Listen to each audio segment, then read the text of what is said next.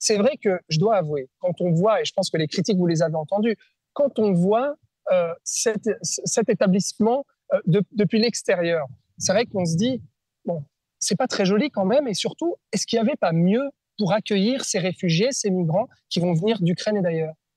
Je pense que vous avez visité l'intérieur et puis vous voyez que les, standards, en fait, euh, sont tout à fait comparables à peut-être d'autres foyers de l'Evan que vous connaissez.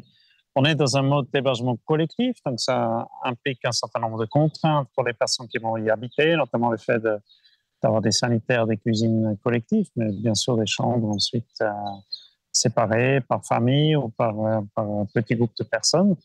Donc ça, ce sont les contraintes de ce mode, de ce mode d'hébergement. Or, euh, dans la situation que nous vivons depuis maintenant plus d'une année, avec notamment le déclenchement de la guerre en Ukraine, il y a une urgence. Nous sommes obligés euh, de répondre aux besoins d'hébergement par des lieux d'hébergement collectif, entre autres. C'est oui. un, des, un des moyens